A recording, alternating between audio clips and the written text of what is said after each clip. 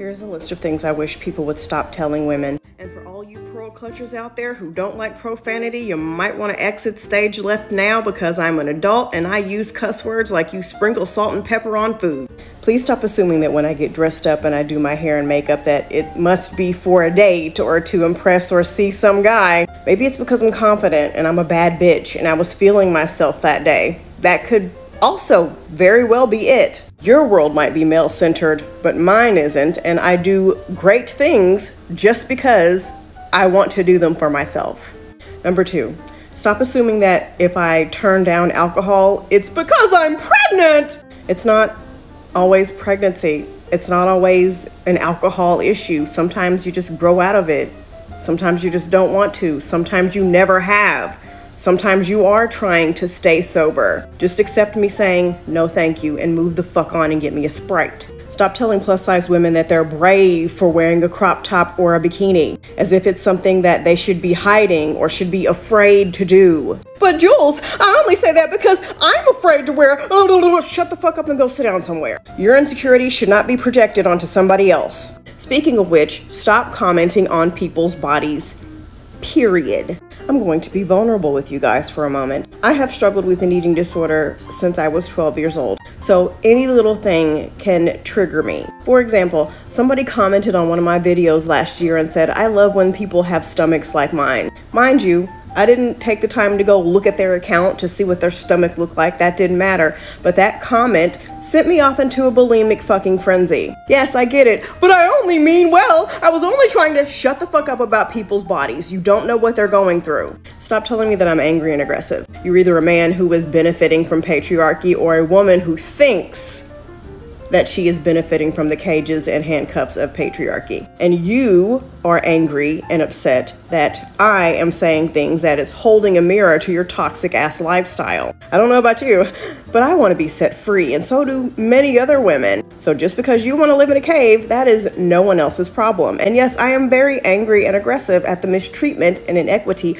of women and minorities and the LGBTQ plus community and people with disabilities. If you know about the crimes and injustices committed against us and you're not upset and aggressively wanting change, is because you're the problem. And stop assuming that I'm gay or bisexual just because I'm not in the mood to date a man right now. Not that those are bad things, but it's quite possible for a heterosexual woman to just not be able to fucking stand men. Stop assuming that just because a woman doesn't talk about her kids 24 7 and isn't always with her kids and having them attached to the hip, that she is neglecting them and they're somewhere locked away in the closet. It is perfectly normal for mothers to have their own identities, their own interests, their own hobbies, to do things for and by themselves. Anytime I post something about how happy I am to be a single mom and all the fun things I get to do by myself, without fail, somebody will comment and say, But you're a mom, but what about your kids?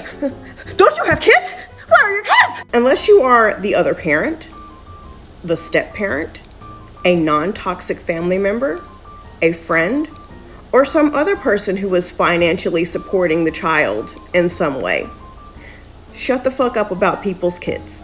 People be telling on themselves all the time, and what you're basically saying is if a woman is happy, she must not be a good mom. If a woman is taking care of herself, she must not be a good mom. If a woman has an identity outside of mother or wife, she must not be a good mom or wife. If a woman does anything without her kids, it's because she is neglecting them. Just because I don't talk about my children in every single video or include them in every single thing that I do does not mean that I don't love them and that I'm not providing for them. So the next time you want to comment and ask me where my kids are or remind me that I have kids or remind me that I'm a single mom or say, but what about your kids? Go ahead and include your Cash App or PayPal information so that I can send you a request so that you can start financially supporting my kids since you care about them so fucking much. Stop assuming that single women want your damn man. Stop assuming that just because single women exist, that they're all trying to take your man from you. Granted, there are some pick-me's out there who do some sneaky, underhanded shit. I believe it, and I've seen it with my own eyes. I know what happens. But most of us are just trying to live our lives and exist. Stop looking us up and down and giving us the cold shoulder and feeling like you got to pull your man closer just because we walk in a room. If you're feeling that insecure, it's because your man made you feel insecure. You guys need to go to marriage counseling, break up, or get a fucking divorce, but stop making it my problem. The next thing, stop assuming that just because a woman is good with kids, that she should have kids. Newsflash decent human beings are nice to kids. That doesn't always mean we should have some of our own. Now, mind you, I already have two, but every time I hold someone's baby or goo goo gaga with someone's toddler, they're like, Don't you wish you had another one? No, the fuck I don't, Susan.